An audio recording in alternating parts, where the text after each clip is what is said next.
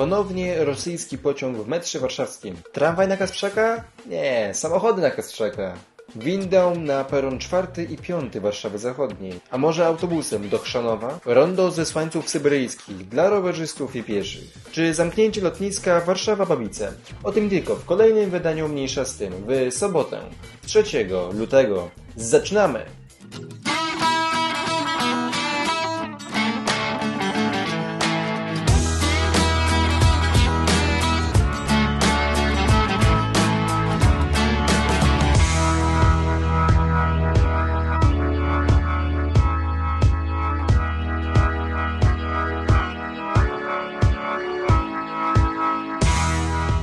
Witam Was tutaj, cześć Ząż i zapraszam Was teraz na kolejne wydanie Zmniejsza z tym.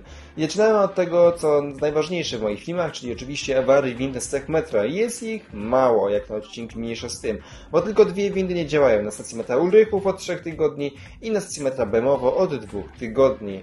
Idziemy dalej, bo w metrze warszawskim działy się, działy się dosyć ciekawe wydarzenia, mianowicie król przyjechał do Danii. Tak, faktycznie e, miał okazję tutaj przyjechać. Fryderyk X wybrał stolicę, no i chodziło oczywiście o ekologię. I tym krokiem idąc chodzi o to, aby odzyskiwać energię z ciepła, które jest wytracane w metrze warszawskim. Kiedy, co, gdzie, jak, to wszystko będzie jeszcze ustalane w dalszej przyszłości, ale list jest już podpisany, żeby faktycznie iść w tą stronę, żeby to ciepło nie ulatywało, tylko było wykorzystywane. I zobaczymy faktycznie, co z tego pójdzie dalej. Więc to taka ciekawostka, że faktycznie właśnie taka osoba miała okazję się pojawić w scenie stacji metra Stadion Narodowy. Mm, tak patrząc z tej perspektywy, wydaje mi się, że to jest właśnie ten peron e, trzeciej linii metra. E, no, no cóż, tak to faktycznie wyglądało.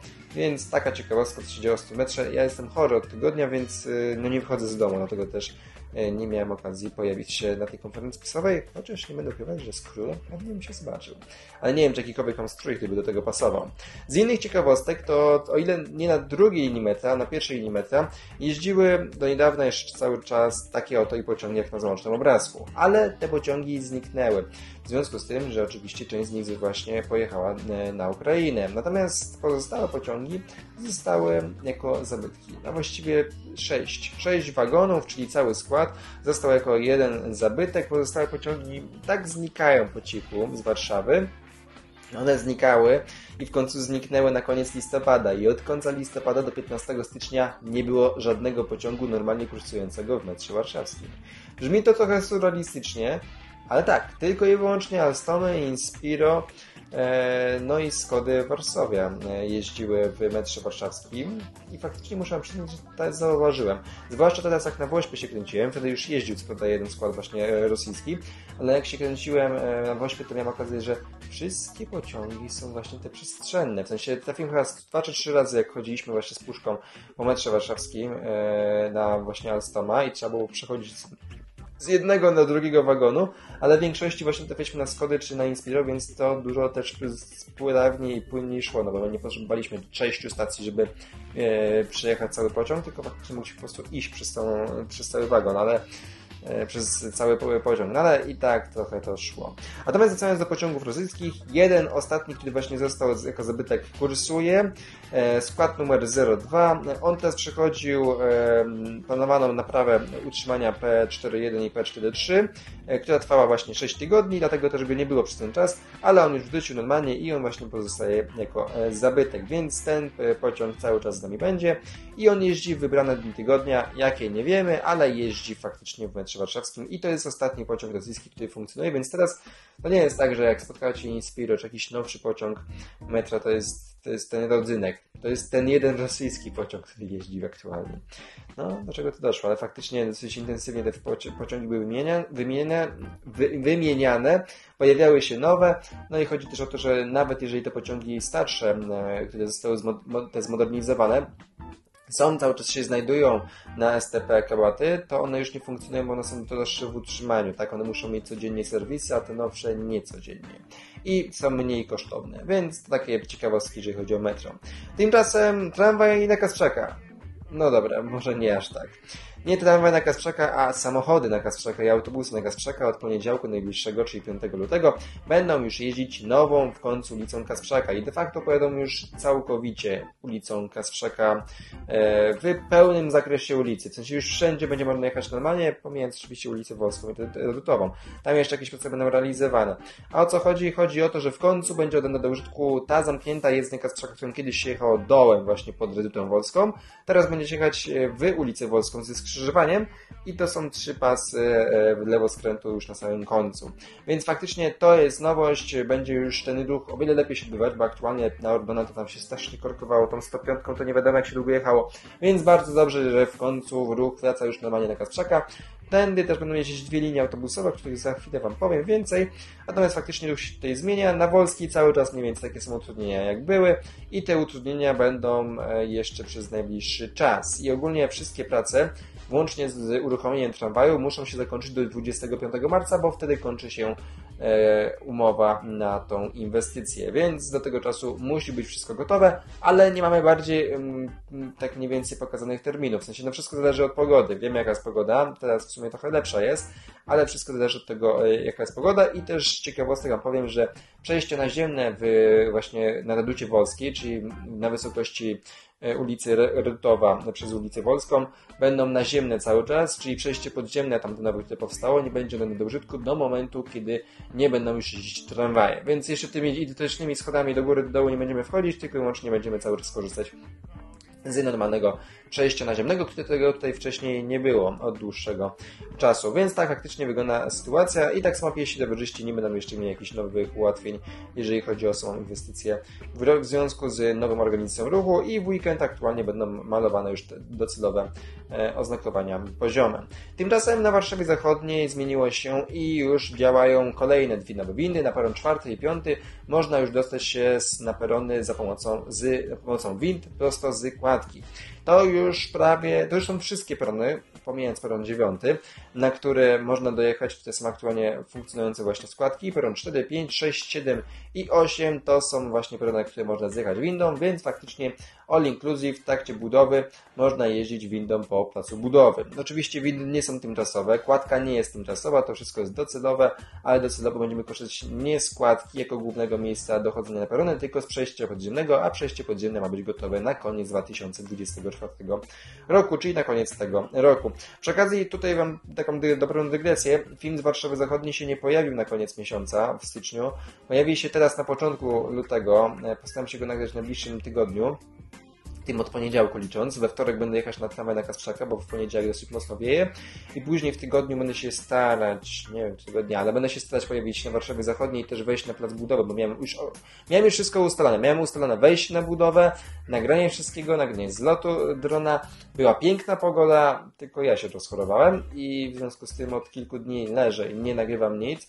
Dlatego też tych, te filmy tak się no, pojawiają, no nie wiem, no był film o porcie Czerniakowskim, e, teraz się pojawił film o Marsa, no po prostu odkopuję to, co mam schowane na komputerze, żeby się filmy dalej pojawiały, ale ogólnie w lutym to będzie ciężko z filmami z tego, co widziałem, więc no tak, e, na pewno filmy z Olsztyna w ramach Okiem Biznesu trochę poddatują sytuację, no i oczywiście z Łodzi w ramach łódzkiej e, średnicy.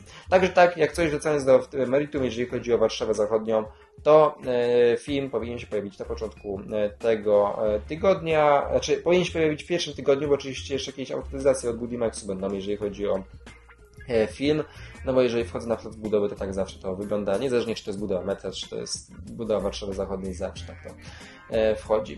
Więc taka tutaj sytuacja, jeżeli chodzi o to. Ale z samego serca, przepraszam, że to, że się rozchorowałem i nie mogłem wyjść z domu. I tak tu siedzę od poniedziałku w domu. Już jest sobota, ja nie mogę, strasznie długo. Ale dobra, z innych ciekawostek to jakie linie autobusowe pojadą nową ulicą Kasprzaka. 105 e, i 167 będą jeździć właśnie e, nową jezdnią Kasprzaka. 105 e, w kierunku osiedla Górczewska, a 167 w kierunku Starego Bemowa bądź Fortu Bemowo. Więc takie jeszcze informacje komunikacyjne, jeżeli chodzi o zmiany. Tymczasem nowa linia autobusowa się pojawi w Warszawie już od poniedziałku, a mianowicie 349 będzie jeździć do Kopera Przychodnia. I tak, co jest ważne, to jest to, że nie mam żadnego pojęcia, czemu to jest 349, a nie 249, to jak funkcjonuje. Jakby Linia 249 aktualnie nie ma całkowicie żadnego sensu, bo ona była tylko po to uruchomiona, żeby jeździła do Chrzanowa, a teraz jest stworzona specjalnie nowa linia 349, która jedzie do Chrzanowa a linia 249, która miała jeździć specjalnie do Chrzanowa, nie dojeżdża do Chrzanowa, tylko do osiedla Górczewska. Co tu się wydarzyło? No nie wiem, znaczy ogólnie chodziło o to, żeby jaką, jak, jakąkolwiek linię autobusową tam przywrócić. Głównie chodziło oczywiście o przychodnie, ale mieszkańcy e, okolicy raczej też będą zadowoleni z tego, że jakiś autobus jeździ. Autobus będzie jeździć w relacji najprostszej jak trwa strzelił, czyli metro Bymowo Kopera oczywiście jadąc niezastąpioną e, ulicą, czyli e, Powstańców Śląskich, Człuchowską Lazurową, batalionów chłopskich Kopera i Kopera Przychodnia. No i w drugą stronę oczywiście Kopera batalionów chłopskich Lazurowa, Górczewska, e, Powstańców Śląskich. Aha, czyli będzie mieć takie kółeczko. No dobra. Więc ta linia autobusowa będzie funkcjonować e, już od najbliższego poniedziałku. Czy my możemy sobie zobaczyć, jak ona będzie często jeździć? A, co sprawdźmy. Tak, 300 i jeszcze, czy 249 będzie cały czas funkcjonować? Sprawdźmy sobie. Tak, 239 funkcjonuje jak funkcjonowało, a 349, czyli nowa linia, tylko to nie marudzić tak, że jeszcze nie funkcjonuje. Ale dobra, kliknijmy sobie. Proszę bardzo, to jest trasa linii 349. Jak widzimy, jedzie z Meteoromowa przez Szczumy, e, czyli przez Słuchowską, a w drugą stronę jedzie przez Górczewską. Ok, dobra, to jest ciekawostka, że w stronę meta będzie jeździć szybciej, a w drugą stronę trochę wolniej. To się trochę dłużej jedziemy, bo do Kopera jedzie 11 minut, a w drugą stronę jedzie raptem 8 minut. Ale co jest najważniejsze, to jest to, jak często jeździ. Czyli z Metabemowo będzie autobus odjeżdżać co pół godziny. E, w drugą stronę również to będzie co pół godziny, dobrze, przez sobie to jest to samo. I pytanie, skoro to jest linia 349, czy to będzie funkcjonować w weekendy? I mam odczucie mimo wszystko, że nie. I tak jak myślałem, linia nie będzie funkcjonować w weekendy. No cóż, a jakbyście byli ciekawi, gdzie ten autobus dojedzie dokładnie, to chodzi o to, że tu jest Szuchowska, autobus będzie skręcać tu, w batalionów chłopskich, następnie tu jest przystanek 1 w tym miejscu i później autobus podjeżdża tutaj, tu do właśnie tej przychodni. Na parking wjeżdża, wjeżdżając przez szlabany, a następnie wyjeżdża i wraca ponownie na trasę. No, nie dało się puścić autobusu, byście się zastanawiali tutaj, bo tu jest droga gruntowa, więc jakby autobus by sobie nie poradził. To nie jest jakby szczęśliwica, też takich możliwości nie da się. To, że autobusy jeżdżą do SKM-ki na szczęśliwicach, to jest jakiś dziwny błąd w Matricie.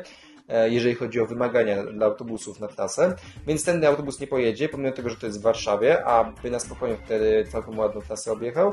Na do Chrzanowa samego, czyli w tym miejscu autobusy nie dojadą. No ale do tej części centralnej będą dojeżdżać, więc przynajmniej e, tyle. E, jakby ktoś Was się zainteresował, czemu według mnie to jest duży problem. No tak, tutaj na autobusy to dojeżdżają jakikolwiek, w sensie tu można stąd jeszcze dojść w miarę prosty sposób dla Żydowej lazurowej. Natomiast stąd do lazurowej nie ma zbytnio przejścia. W sensie albo idziemy tędy za jakieś 15 minut, albo idziemy tędy 15 minut, więc y, no jest kiepsko. Ja wiem, że te 15 minut się jedzie, bo jakby ja nagrywam tutaj budowę metra i będę to robić też w tym miesiącu i zawsze na tym ubolewam, że 239 już teraz nie funkcjonuje, bo jak funkcjonowało jeszcze miałem wygodny dojazd, a teraz nie mam wygodnego dojazdu, bo 743 to chyba wszyscy wiemy jak jeździ często, więc no. E, z innych ciekawostek będę nagrywać jeszcze w najbliższych dniach, może nawet jutro, Nowoczuchowską, bo prace mają się rozpocząć mm, w tym miesiącu de facto, jeżeli chodzi o budowę, bo to jest realizowane przez prywatnego dewelopera, który buduje te wszystkie tutaj wielkie osiedla w tym miejscu. Dobra, e, inne ciekawostki to jest most na Pragę, e, na którym aktualnie siedziska są montowane i to mogliście z tym zobaczyć w moim filmie z mostu na Pragę, więc tu też są realizowane prace. I jeszcze ciekawostka, że rondo zasańców syberyjskich jest do poprawy. Nie do końca rozumiem logikę, jaka tutaj idzie za nimi, ale no dobra. E, logiką zarządu dróg miejskich jest to, żeby zlikwidować przejście podziemne i wybudować nowe przejście naziemne prawie w każdej orientacji z nowymi przejściami dla pieszych i przejazdami rowerowymi wraz z dobudową drogi rowerowej do aktualnej inwestycji tramwaju do Warszawy Zachodniej. Tam jeżeli chodzi o połączenie w kierunku Bitwy Warszawskiej 1920 roku. Tam jest taki krótki fragment, który po prostu nie będzie realizowany przez e, tramwajową inwestycję i tu właśnie też ZDM to zrobił. I o ile sam pomysł przebudowy tego węzła jest bardzo sensowny, bo żeby teraz przejechać to w pełni, po prostu się zjeżdża rowerem do przejścia podziemnego, a następnie trzeba zejść z roweru czy z innego pojazdu i po prostu go wprowadzić po schodach. Jest, to prawda, szyna, jest pochylnia i nie ma tego problemu, ale dalej trzeba zejść z pojazdu. E, więc to jest faktycznie kiepsko rozwiązane e, w tym miejscu, tym bardziej, że te przejście podziemne jest tylko wyłącznie pod jedną jezdnią, a pod drugą jezdnią już jest normalnie przejście e, naziemne przez jezdnię. W związku z tym, że po jednej stronie jest tunel, a po drugiej stronie po prostu tak wyszło. I to jest też trochę niezrozumiałe. ZDM stwierdził, że najlepiej to zasypmy wszystko i po prostu zbudujmy. Według mnie dużo lepsze rozwiązanie było po prostu wybudowanie pochylni z samego przejścia podziemnego w kierunku mm, właśnie samej trasy tysiąclecia. No trudno, jest taki plan jaki jest. Trzeci raz podchodzę do tego, bo chodzi na razie o przypadek na zaprojektowanie tego. Miejmy nadzieję mimo wszystko, że to rozwiążą i będzie dużo lepiej, bo aktualnie jak jest, no wiemy. W sensie, raczej, nie jest najgorzej, jest dużo miejsc, gdzie jest dużo gorzej ta sytuacja, tak solec, ale no tutaj można byłoby to jakoś lepiej zorganizować, mimo wszystko mi się wydaje. Znaczy, nigdy nie jestem za zamykaniem i zasypywaniem przejść podziemnych, zwłaszcza które nie wyglądają jakoś tragicznie, a to przejście podziemne, zwłaszcza te głównie wykorzystywane przez rowerzystów, nie wygląda tragicznie. Ono jest naprawdę w dobrym stanie. W porównaniu z tym, które było jeszcze niedawno pod placem e, na rozdrożu, to to, to jest panie, to są inclusive. Dobra, jeszcze parę ciekawostek to jest to, że od poniedziałku 5 e, lutego e, będzie zamknięta e, ulica kolejowa w jednym kierunku, więc będzie, będzie można wyjechać właśnie w kierunku ulicy Towarowej z ulicy Kolejowej.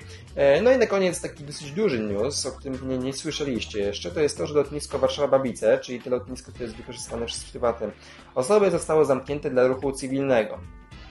Tak, y, lotnicze pogotowe ratunkowe oczywiście cały czas można z niego korzystać, tak samo jak pewnie wojskowi na spokojnie sobie latają, ale y, jeżeli chodzi o sam ruch cywilny, no to zostało to całkowicie zamknięte i teraz pytanie czemu? No tu jest dosyć długa historia, nie będę Was przynudzać, najważniejsze jest parę aspektów. To po pierwsze tak, lotnisko jest na razie zamknięte tymczasowo na najbliższy miesiąc. To jest jeden z aspektów. Drugi aspekt to jest to, że jeżeli lotnisko jest zamknięte, to żadne operacje lotnicze cywilne nie mogą się odbywać. Ja przypominam, że na tym lotnisku znajduje się trochę instytucji, które świadczy usługi e, samolotowe. E, nie wiem, nawet wynaj można wynająć sobie samolot na godziny, e, czy się szkolić i przez te miesiąc to oni będą mieli straty w wysokości nie kilkuset, tylko pewnie milionów złotych łącznie, jakbyśmy to policzyli, więc no, ładny pozew może się, może się szykować. To jest jeden z aspektów. A teraz najważniejszy aspekt, czemu lotnisko zostało zamknięte? W związku z tym, że nie spełniało standardów. Aby lotnisko spełniało e, standardy EASY, tak w dużym skrócie, musi być AFIS, e, czyli informacja e, służby AFIS zostały zawieszone w związku z tym, że się nie dogadali, jeżeli chodzi o pieniądze, bo AFISowcy chcieli mieć podwyżkę, zaproponowana została dla nich oferta niższej ceny, nie dogadali się, oni rozwiązali umowę, znaczy została z nimi rozwiązana umowa i ostatecznie oni zniknęli, miała być prowadzona inna procedura e, informacji na lotnisku, ona została prowadzona, ale nie, ona nie była zgodna z przepisami jazowskimi, oni zniknęli, e, no i lotnisko zostało zamknięte. W związku z tym aktualnie potrzebny jest nowy AFIS, który by faktycznie rozwiązał ten problem, no ale na razie lotnisko jest zamknięte. Więc nikt na tym nie korzysta i straty są kolosalne, jeżeli chodzi o pieniądze. Wybaczcie sobie, że w związku z tym, że się nie, nie dogadali co do pieniędzy, zostałoby zamknięte lotnisko Chopina. Ja wiem, tutaj na Babicach nie ma lotów czarterowych i takich dużych, ale i tak to jest jedno z największych lotnisk takich właśnie do prywatnego użytkowania w Polsce, z tego co mi się wydaje. Więc no, sytuacja co najmniej nieciekawa. Z innych ciekawostek to dalej nie możecie latać dronami, jakbyście chcieli byli zainteresowani obok, bo cały czas strefy lotniska istnieją. W sensie jakby to, że nie jest wykorzystywane przez cywilów nie oznacza, że w ogóle nie działa. Ono działa tylko trochę na innych zasadach w ten sposób. Chociaż de facto w sumie nikt nie wie w jaki sposób to działa i do kogo zaraz dzwoni, bo wiecie, jak chcecie uzyskać trochę informacji o lotnisku, czy jakieś specjalne uzgodnienia e, uzyskać, no to dzwoni się do AFIS-u. Jak macie dzwonić do AFIS-u, jak nie ma AFIS-u? Więc się zrobił niezły bałagan. O tym będę Was informować kolejnym mniejsza z tym, jak może sytuacja się rozwiąże, chyba, że się rozwiąże tak szybko, że nawet nie będę miał o czym mówić. Ale dobra, to było na tyle mniejsza z tym. Mało było informacji, a i tak rozciągnąłem jak zawsze. Jak widzicie, właśnie utraciliśmy jedną subskrypcję, ale i tak dziękuję Wam wszystkim, e, że jest nas tutaj coraz to więcej. Dokładnie 14 881 osób. Jeżeli taki materiał Wam się podobał, to zostawcie łapkę w górę. Jeżeli chcecie, żeby te cyferki nie szły w dół, a do góry, kliknijcie subskrybuj i ten dziwny znaczek. Jak zawsze zachęcam Was do cenia patronami Awiznosza. No i kolejna mniejsza z tym oczywiście się pojawi za tydzień. W tym tygodniu, jak widzieliście, no dużo się nie działo, tak? Największy news to jest to zamknięcie lotniska de facto, czy otwarcie Kasprzaka. Ale poza tym to właściwie no nuda, nuda w Warszawie. E, I tak samo jest tutaj, jeżeli chodzi o filmy, które mam zaplanowane. W sensie będzie Warszawa Zachodnia, będzie tramwaj na Kasprzaka, będzie tramwaj pod Warszawą Zachodnią, oczywiście też przy okazji nagram, ale tak jak patrzyłem sobie na ten miesiąc, to jakichś większych rewolucji nie będzie. Będzie ten e, nowy przejazd kolejowy, który tam będzie powstawać, jak dobrze pamiętam, tunel w Teresionie i ja będę chciał go nagrać też na szybko teraz, żeby to było jeszcze przed rozpoczęciem pracy. Ktoś mi pisał w komentarzach, dziękuję bardzo za propozycję i tam właśnie też pojadę, żeby nagrywać tę inwestycję. Piszcie mi w komentarzach, jakie chcielibyście też inwestycje, żebym nagrywał właśnie z Mazowsza całego, bo mazowieckie inwestycje polegają na tym, że właśnie nagrywamy różne inwestycje z Mazowsza. Mazowieckie inwestycje się bardzo mocno skurczyły po wyborach, bo wszystko jak zawsze jest do wyborów. Najbliższe są wybory samorządowe, więc dużo inwestycji będzie się kończyć samorządowych, a samorządowe inwestycje nie są aż tak rozległe, jeżeli chodzi o całe Mazowsze, więc one w większości są już pokończone i trochę tego będzie mniej na kanale, bo po prostu mniej się dzieje, ale spokojnie, coś tam pomyślimy, jakieś może planowane inwestycje, no i duże podsumowań będę mógł w końcu zrobić, bo te podsumowania też czekają, więc na pewno, jeżeli mi się uda, e, spodziewajcie się podsumowania e, Placu Trzech Krzyży w niedzielę. Takie pełne podsumowanie, jak to wyglądało podczas budowy i kilka dni później jeszcze będzie taki na spokojnie przerwa, abyście mogli sobie samemu zobaczyć, jak to wyglądało i jak to się zmieniało, bo ja jej tak podsumowanie muszę robić, bo mi się kończy miejsce na dysku i muszę niektóre inwestycje po prostu wywalić. Bo ja archiwum trzymam do podsumowań, a później mogę je usuwać. A tych podsumowań, jak mogliście zobaczyć na przestrzeni ostatniego roku, było kilka. A inwestycji dużo więcej się skończyło, więc to z takich aspektów innych technicznych, innych technicznych też powiem, że byłem chory i nie nagrywałem niczego, dlatego też te filmy różne się pojawiają, podsumowania, jakieś takie inne rzeczy wykopane, bo po prostu nic nowego nie mam, a i tak jak patrzę na kalendarz, na ramówkę na ten miesiąc, to dużo ciekawego, e, w sensie, znaczy, inwestycji zaplanowanych na ten miesiąc mam chyba 15, góra 20 filmów, więc to nie jest świat ludzie, to nie jest jakoś strasznie dużo. No cóż, tak jak powiedziałem. Na razie ciszę w eterze, ale mam nadzieję, że w końcu ruszą te inwestycje, na które czekamy, tak? Tramwaj pod Warszawą Zachodnią, tramwaj na Rakowieckiej. W końcu ruszajcie z tymi kolejnymi inwestycjami. No i oczywiście, jak jakąś inwestycję warszawską ciekawą pominąłem, to też mi napiszcie. O Piastów Śląskich myślę. Może mi się uda tam w końcu polatać. Tymczasem do zobaczenia w kolejnych materiałach na moim kanale. Cześć!